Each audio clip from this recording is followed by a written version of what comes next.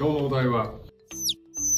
はい。CD コンパクトディスク。まあもちろん知らない人はいない。今いるのかなもしかしたら。知ってても家にないっていう人はもしかしたら出てきてる世代かもしれないですよね。まあ僕なんてのは本当にこう CD 世代で84年生まれですから物心ついた頃の音楽デバイスっていうのはまあ CD が基本ですよね。もうレコードっていうのがもう衰退していっててでかといって配信というものもなかったんで音楽といえば CD を買って聴くほかなかったわけなんですけどもまあ最近便利なものものがいっぱい出てて一番ね大きいのはサブスクリプションです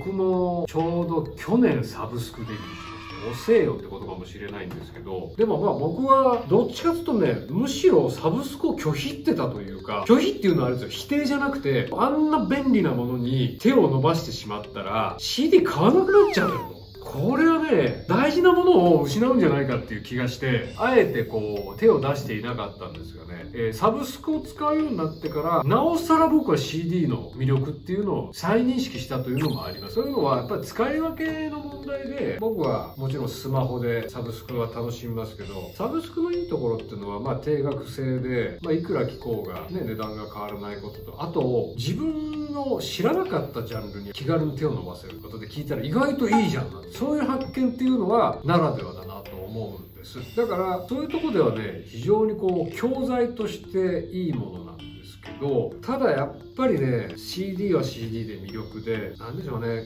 僕みたいにコレクト癖がある人間からすると物を集めたりあるいは CD ショップに行ってっ何か物色するという行為自体が多分趣味なのでそれが一番楽しいですよ。だから CD が好きなのか CD ショップが好きなのかよくわかんないんですけどもうとにかくあ行からこう順番に何かねえかなってこう見てる瞬間っていうのは結構至福な瞬間で、まあ、中古屋さんが多いですけどね中古だと手ぶらで帰ってくることはまずなく何かしらを買ってしまうわけです。なので僕は今でもカバンの中にこのようなポータブル CD プレイヤーを必ず入れてるんです。家まで待てない。家まで待てないんです。買ったらもうその場で開封して聞き始めてしまう。でまああとは当たり前ですけどやっぱり晩ですから情報量多いので音はいいいいと思います。これも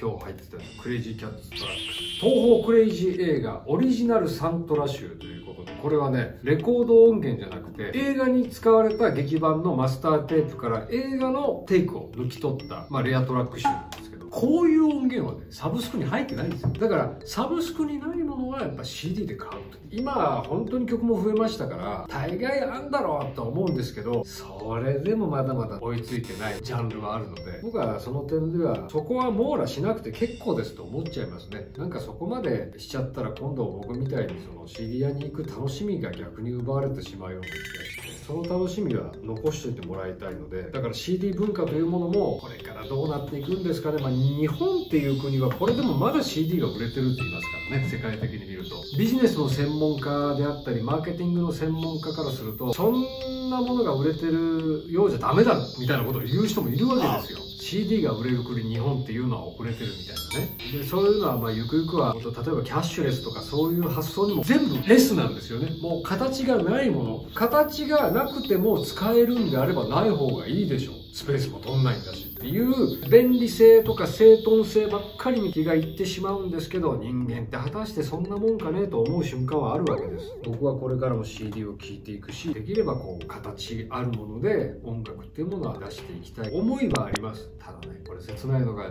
本人が思いはあってもねやっぱり形があるものっていうのはね在庫という概念がありますからお金もかかりますしね。今やっぱり無形で出すっていうのがそっちの方にシフトしていっちゃってるっていうのはねちょっと寂しいで僕は言いたかったことがもう一つあって神田さんはレコードの話をよくしますのでさぞかしアナログ好きでレコードが一番好きなんだろうなと思っておられる方もいるかもしれませんが大きな間違いでございます。僕はレコードと CD だったら CD を選びます。理由はレコード音悪い。よくねレコードは音がいいとかっていう方いらっしゃいますけどいい気がするだけだとだってねいいわけがないだって物理現象でしょ。その溝を走らせてそれを引っかく音を変えてるわけですから走行音は入るし音楽的じゃない要素がものすごくある。もっと言えばその内周と外周っていうんですけど LP だったら外側1曲目の方が音いいんですよね。内側になればなるほどね音が悪くなるんですよ溝の構造で。そういうようなことで均一性も取れてないし非常にその再生デバイスとしてはやっぱ未完成なものだったなと。それがやっぱデジタルになってからマスターテープスタジオで作った音を1だとしたらそれに対して極めて1対1で商品化できてるっていう意味では CD の方が断然優れたものだなということがありますので僕はもう CD とレコードだったら所持するなら CD がいいなので CD 最強説ということでこれからも買っていきたいと思います。今日は CD というものについてお話ししました